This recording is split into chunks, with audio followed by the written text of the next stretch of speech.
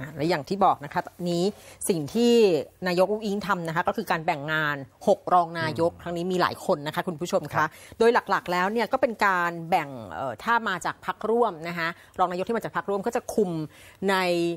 ในกระทรวงที่รัฐมนตรีในสังกัดพักของตัวเองเนี่ยคุมอยู่ซะเป็นส่วนใหญ่นะคะ แต่ว่าโดยภาพรวมแล้วเนี่ยก็เคลียร์ก็ชัดเจน เพราะว่ามีทั้งด้านความมั่นคงนะคะมีทั้งด้านเศรษฐกิจนะคะรวมถึงด้านสังคมด้วยนะคะ อย่างคุณภูมิธรรมเวชยชัยเนี่ยนะคะก็ไปดูแลรับผิดชอบเกี่ยวกับกระทรวงด้านความมั่นคงนะคะทั้ง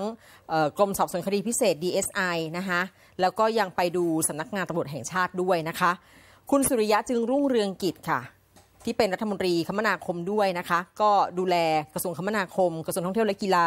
กระทรวงวัฒนธรรม กระทรวงสาธารณสุข คุณพิชัยชุนหาวชิระรองนายกรัฐมนตรีและรัฐมนตรีคลังนะคะ ก็ดูแลกระทรวงด้านเศรษฐกิจทั้งหมดเลยนะคะทั้งกระทรวงพาณิชย์กระทรวงการคลังสำนักงบประมาณ กระทรวงการต่างประเทศ รวมถึงกระทรวงเกษตรและสหกรณ์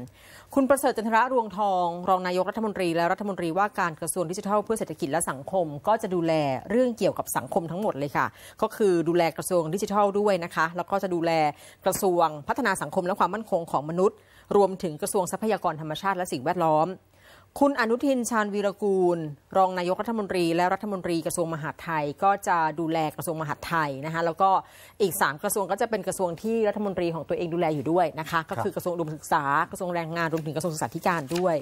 คุณพีรพันธ์สาลีรัฐวิภาคค่ะ ท่านก็ดูแลที่